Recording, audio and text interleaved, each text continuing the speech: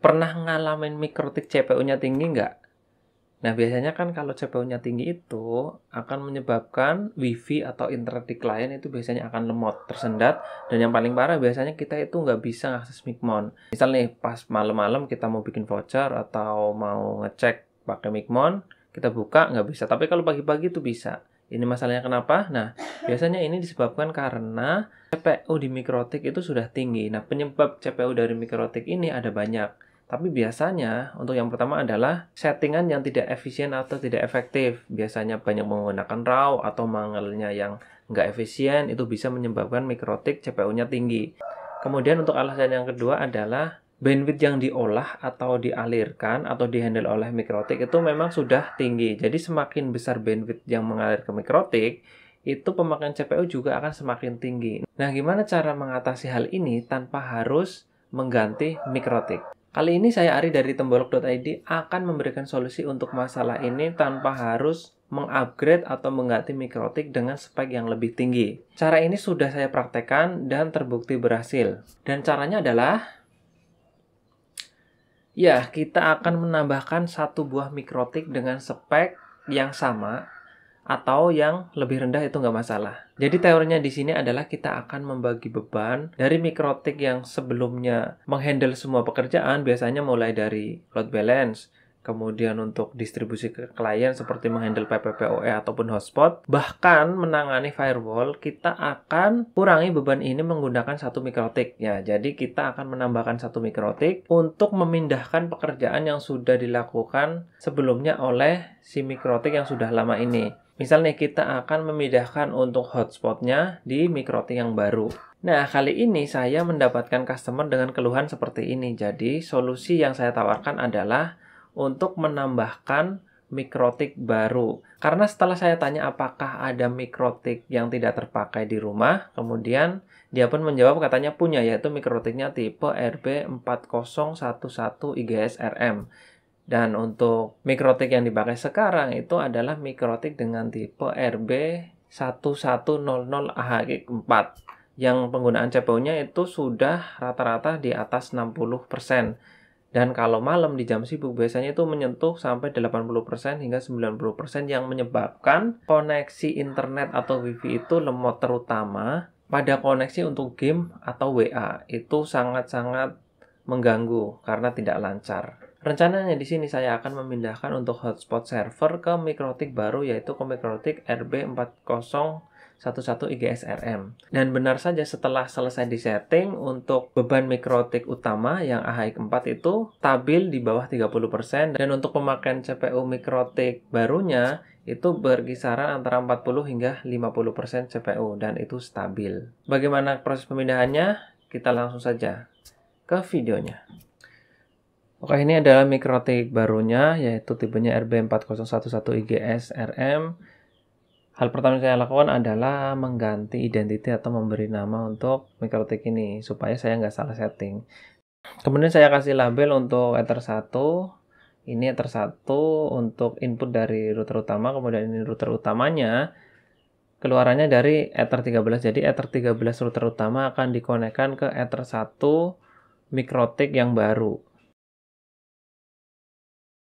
Selanjutnya kita buat IP untuk mengoneksikan kedua mikrotik ini yaitu mikrotik baru dan mikrotik lama. Saya buatkan dulu untuk IP di mikrotik lamanya di sini. Saya akan gunakan IP 10 10 5 1 30. Jadi nanti di mikrotik yang baru IP-nya 10 10 5 2 30. Cukup gunakan network 30 dengan dua host ya untuk menghubungkan dua mikrotik ini. Kemudian di Ether 1 saya tambahkan untuk IP yang tadi. Jadi gateway untuk mikrotik baru ini adalah mikrotik yang lama yang IP-nya tadi 10.10.5.1. Kemudian saya set default root-nya, saya arahkan ini untuk gateway-nya yaitu 10.10.5.1 yaitu IP dari mikrotik lama yang tadi di Ether 13. Kemudian saya cek ini di mikrotik lamanya, di sini ada VLAN 101 dan 102, yaitu VLAN untuk hotspot. Untuk pemakaian VLAN-nya nanti akan saya pindahkan. Kemudian saya akan labeli ini yang mana yang akan dipindahkan. Ini Ether 9 nanti akan dipindahkan ke mikrotik yang baru. Kemudian kita ke mikrotik yang baru, nanti rencananya Ether 4 akan dipakai untuk menggantikan Ether 9 tadi yang mikrotik lama. Jadi di sini yang terpenting kita merencanakan dulu mana yang akan dipindah dan akan dipindah ke port yang mana dari port mana. Tujuannya nanti supaya pas proses pemindahan itu berjalan lancar atau si klien itu atau pengguna nggak menyadari bahwa ada pemindahan router. Jadi meminimalisir waktu downtime. Ini untuk VLAN-nya saya pindahkan yaitu VLAN 101. Kemudian VLAN 102 juga untuk Ether 4 dan Ether 5. Kalau semuanya direncanakan dengan matang, disetting dengan sempurna, ya walaupun tidak terlalu sempurna minimal ya waktu downtime-nya atau waktu off-nya untuk klien itu cuman sebentar. Jadi di sini saya berusaha agar nanti ketika saya cabut kabel dari mikrotik lama dipindahkan ke mikrotik baru itu koneksi hotspotnya untuk di klien itu langsung connect. Kemudian untuk template loginnya ini mulai saya download dari mikrotik lama. Setelah selesai saya upload ke mikrotik yang baru Nah, jadi di sini saya rencananya tidak akan menggunakan NAT pada mikrotik yang baru. Biasanya kan settingan yang dipakai agar klien itu bisa connect ke internet yaitu dengan melakukan NAT. Tapi di sini saya akan menggunakan root. Tujuannya agar pemakaian CPU-nya itu lebih sedikit atau lebih rendah atau lebih hemat. Cara kerjanya di sini cukup simpel ya. Jadi kita itu memberitahu mikrotik lama untuk jalur yang harus dilewati ketika menghandle request dari IP tertentu yaitu IP tertentu ini adalah IP hotspot yang berada di VLAN 101 dan 102 di mikrotik baru dalam hal ini adalah IP 172.16.56.0/22, kemudian 172.16.60.0/22, kemudian IP 172.16.64.0/22, dan yang terakhir adalah IP 172.16.68.0/22. Jadi untuk tujuan IP-IP tersebut, kita kasih tahu bahwa IP tersebut berada di atau menggunakan gateway IP 10.10.5.2 yang dalam hal ini adalah ini IP dari mikrotik baru yang akan kita setting. Jadi caranya hanya seperti itu.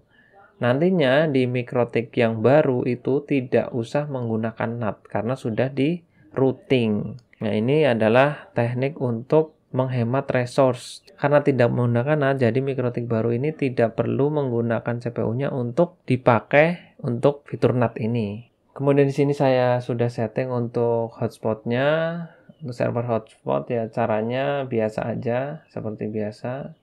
Mau pakai manual, mau pakai wizard atau yang tinggal klik hotspot setup nggak masalah. Kemudian di sini saya akan mencoba mengekspor atau memindahkan data-data hotspot mulai dari profil hingga usernya itu ke mikrotik yang baru dari mikrotik lama dengan cara menggunakan fitur export.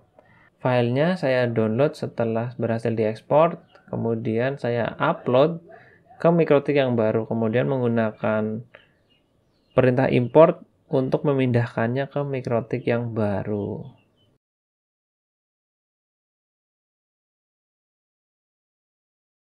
Jadi di sini untuk profilnya itu ada 58 kita cek, kemudian kita bandingkan dengan di mikrotik yang lama dengan baru, ada 58 juga berarti sudah benar. Kemudian untuk usernya di mikrotik yang lama ini ada 20.769. Kemudian kita cek di mikrotik yang baru setelah kita proses importnya, kita cek di bagian user sini Kemudian kita cek 20.769 dan jumlahnya ini sudah tepat berarti kita sudah berhasil memindahkan semua data hotspot dari mikrotik lama ke mikrotik yang baru. Dengan begini nanti saat proses pemindahan maka user-user yang sudah connect itu bisa login ulang ketika kita sudah pindahkan ke mikrotik yang baru. Jadi untuk downtime-nya dibilang tidak ada karena downtime-nya itu cuman nanti si klien akan akan diredirect ke halaman login kemudian mereka akan diminta untuk memasukkan kode vouchernya kembali ya. Cuman gitu untuk waktu downtime-nya. Jadi boleh dikatakan ini waktu downtime-nya kurang dari satu menit. Kemudian di sini akan saya set untuk waktunya menggunakan NTP server karena yang kita ketahui kalau hotspotan waktu adalah segalanya karena semua voucher hotspot itu acuannya adalah waktu untuk menentukan waktu expired. Dan jadi pastikan untuk waktunya itu valid dalam hal ini saya menggunakan NTP server kalau kita bisa lihat untuk waktu setting saat ini adalah boleh dilihat di paling atas yaitu Kamis 25 Januari kemudian dua hari berikutnya kita review untuk hasilnya ini yang sebelah kiri adalah router lama dan sebelah kanan adalah router mikrotik yang baru. Jadi saya sengaja tampilkan setelah dua hari tujuannya adalah agar MRTG-nya itu sudah ada. Kalau baru saya setting kemudian saya review, itu namanya bukan review. Jadi saya tunggu dua hari, saya cek-cek lagi. Ini adalah hasil final untuk settingannya setelah dua hari. Dengan begini kita bisa simpulkan bahwa kita sudah berhasil untuk mengurangi beban CPU mikrotik lama dengan cara menambahkan mikrotik baru supaya bisa berdampingan, memikul bersama beban trafik yang ada di jaringan supaya lebih ringan dan di sini sudah terbukti rata-rata penggunaan CPU mikrotik lama yang dulunya hingga 7 bulan persen menjadi di bawah 50 persen. Tepatnya rata-ratanya itu sekitar 30 sampai 40 persen. Kita lihat di sini untuk harinya yaitu Thursday. Jadi saya setting mulai Thursday di sini Kamis. Ingat ini ya hari Kamis. Kemudian kita lihat untuk di MRTG mikrotik baru yaitu mulai hari Kamis juga. Itu rata-ratanya 40-an persen. Bahkan di sini tertulis rata-rata malah 26%, tapi untuk peaknya sekitar 40 sampai 50% untuk penggunaan CPU di mikrotik baru. Jadi ini sangat stabil dan boleh dikatakan masih ringan. Tentu dengan cara seperti ini kita bisa menghemat untuk pengeluaran membeli mikrotik. Jadi kita tidak harus menggunakan satu buah mikrotik dengan spek yang luar biasa tinggi, tapi kita bisa akali menggunakan beberapa mikrotik dengan spek yang biasa aja untuk menghandle pekerjaan yang luar biasa beratnya. Jadi kita bisa gunakan misal 3 mikrotik untuk router untuk load balance sendiri, kemudian untuk PPPoE sendiri, kemudian untuk hotspot sendiri. Dan jika jaringannya sudah besar-besar-besar dan besar, kita juga bisa menggunakan lebih dari satu mikrotik untuk menghandle pekerjaan atau tugas misal PPPoE atau hotspot ataupun load balance. Jadi kita bisa gunakan misal nih karena sudah saking besarnya kita bisa gunakan dua mikrotik untuk hotspot kemudian dua mikrotik untuk menghandle PPPoE itu bisa saja. Oke sekian dulu video kita kali ini. Semoga video ini bermanfaat dan thank you